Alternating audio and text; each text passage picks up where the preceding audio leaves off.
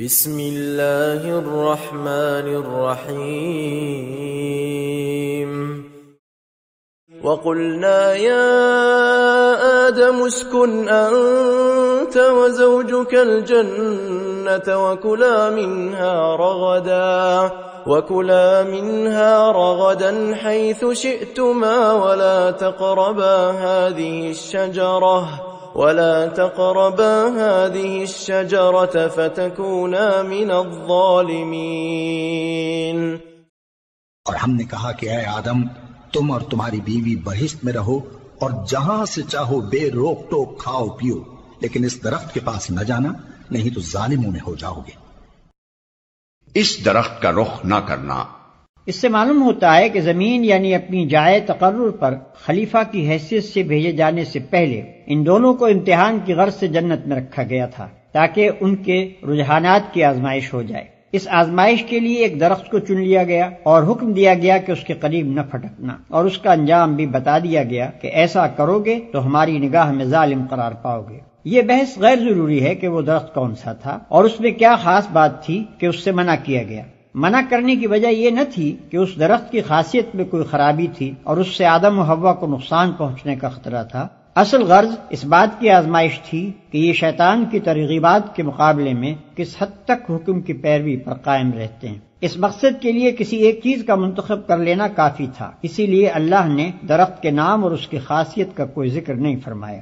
اس امتحان کے لیے جنت ہی کا مقام سب سے زیادہ موضوع تھا۔ دراصل، اسے امتحان گاہ بنانے کا مقصود یہ حقیقت انسان کے ذہن نشین کرنا تھا کہ تمہارے لیے، تمہارے مرتبہ انسانیت کے لحاظ سے جنت ہی لائق و مناسب مقام ہے۔ لیکن شیطانی ترغیبات کے مقابلے میں اگر تم اللہ کی فرما بداری کے راستے سے منحرف ہو جاؤ گے، تو جس طرح ابتدا میں اس سے محروم کیے گئے تھے، اسی طرح آخر میں بھی محروم ہی رہو گے۔ اپنے اس مقام لائق کی اپنے اس فردوس سے گم گشتہ کی بازیاب تم صرف اسی طرح کر سکتے ہو کہ اپنے اس دشمن کا کامیابی سے مقابلہ کرو جو تمہیں فرما برداری کے راستے سے ہٹانے کی کوشش کرتا ہے۔ ورنہ ظالموں میں شمار ہوگے۔ ظالم کا لفظ نہایت معنی خیز ہے۔ ظلم در اصل حق تلفی کو کہتے ہیں۔ ظالم وہ ہے جو کسی کا حق تلف کرے۔ جو شخص خدا کی نافرمانی کرتا ہے، وہ در حقیقت تین بڑے بنیادی حقوق تلف کرتا ہے۔ اولا خدا کا حق، کیونکہ وہ اس کا مستحق ہے کہ اس کی فرما برداری کی جائے۔ ثانین ان تمام چیزوں کے حقوق جن کو اس نے اس نافرمانی کے ارتکاب میں استعمال کیا۔ اس کے آدائے جسمانی، اس کے قوائے نفس، اس کے ہم معاشرت انسان، وہ فرشتے جو اس کے ارادے کی تکمیل کا انتظام کرتے ہیں اور وہ اشیاء جو اس کام میں استعمال ہوتی ہیں۔ ان سب کا اس پر یہ حق تھا کہ وہ صرف ان کے مالک ہی کی مرضی کے مطابق ان پر اپنے اختیارات استعمال کرے۔